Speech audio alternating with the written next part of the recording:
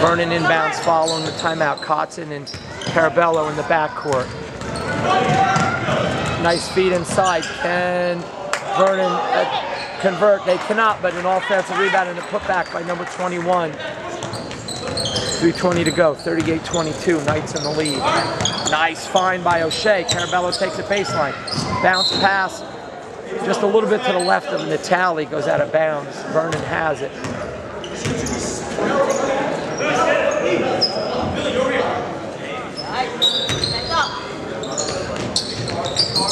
Steal by Carabello. Tips it over to Morin. Morin with a beautiful find. Morin gets an assist. O'Shea gets a bucket. There's a tip away by Morin. On the floor, O'Shea deflects it out. Carabello. Carabello finds. And Kotzen takes it to the rack. Carabello gets the assist, but you got to give credit to O'Shea and Morin as well on that play. That was a total team effort. Nice bounce pass inside, but O'Shea is there. Forces a miss. A wild shot. Somehow 23 got it to go down. 42 to 24. 2.29 to go in the half. Come on, wife, smart.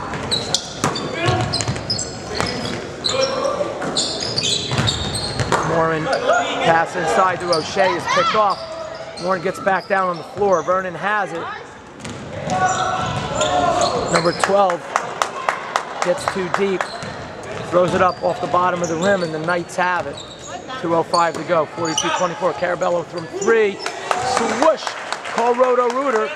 That's the name, and he'll knock that bucket down the drain, does Carabello. For 45-24 lead. Carabello with 15 points. Skylar Kotzen with a personal foul on that. That'll be, I believe, the second. We'll wait for the official score. It is, in fact, the second. That's nine team fouls. Bonus situation for Vernon. 23 will shoot one. See if he can earn himself a second.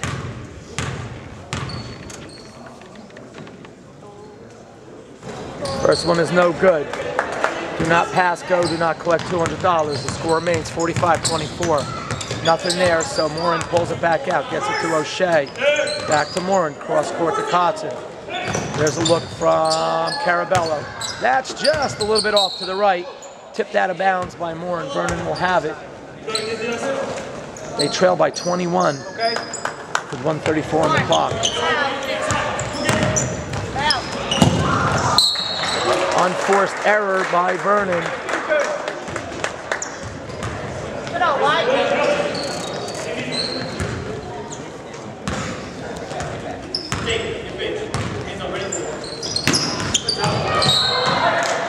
Kotzen's pass for, intended for Morin was almost picked off, but it goes out of bounds. come Let's go, come on. Smart. 124 on the clock. Carabello swings it back to Kotzen.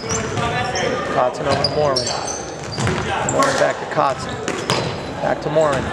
That pass is just a little bit off. Kotzen to get a breather as Stackhouse checks back into the game with 109 on the clock. Knights up 45 to 24. Knights go to press in the back court. Vernon gets the ball. O'Shea reads it though. O'Shea hustling back, forces the pass a little bit long. And that's a turnover on Vernon with 102 on the clock. Stackhouse brings the ball up. Dishes it to Carabello. Carabello back to Stackhouse. Stackhouse over to Morin. Morin inside to O'Shea. Morin's pass is off the mark. Turnover on the Knights. Knights got to dig in on defense. They have a 21-point lead. There's open three. It's an air ball.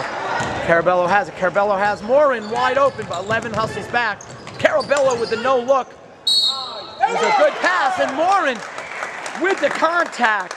Morin gets the assist from Carabello, and Morin will go to the line for the and one with a 47 to 24 lead and 33.7 on the clock. Take your time, Billy.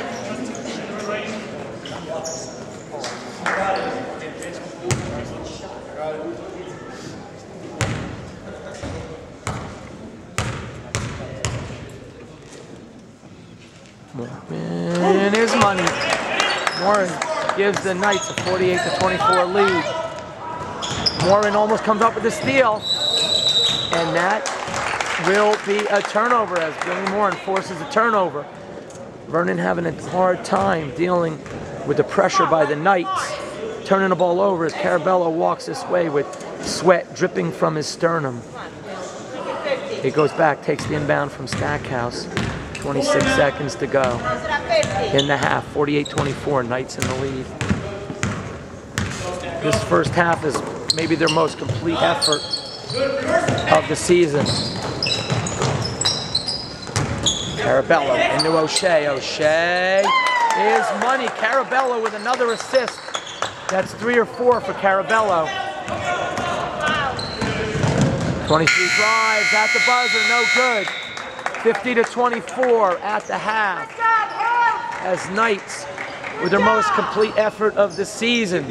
Their best half since the second half against Pope John.